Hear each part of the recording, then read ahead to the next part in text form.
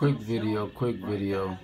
I just gotta say, what the fuck is going on right now? I was rocking with my man 6 9 My nigga was doing this thing with the music shit. I respect his music. Got some fucking fire music. Got some dope music, man. You know what I'm saying? I think ever since he met with Young Thug and fucking Birdman, you know, all this mook shit been going on, all this gay shit.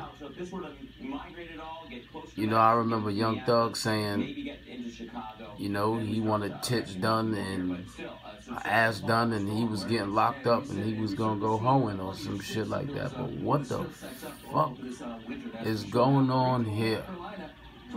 Six nine Suwu gang on his you could clearly see it shit, nigga. This is in the video.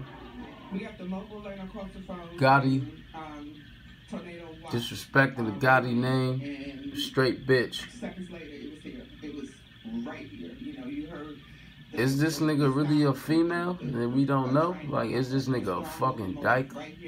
I don't know, man. You know I'm saying? This my nigga 6'9", you know, gumbo status. Mr. Platinum. No good music. I'm just fucking shocked at this right here, man. Like, come on, son.